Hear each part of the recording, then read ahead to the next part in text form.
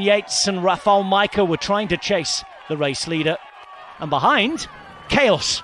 More crowds, more motorbikes. Vingegaard held up. He'd had help from Benoot, he had help from Kelderman, but they couldn't get up to the race leader. Simon Yates, by this point, the closest, 22 seconds behind Gall, who'd gone over the final big climb of the day and was descending.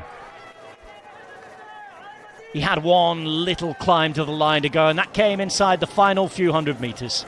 He got there with a gap. He was fighting to keep the gap. Yates could see him up the road, but it would be too much for the Briton.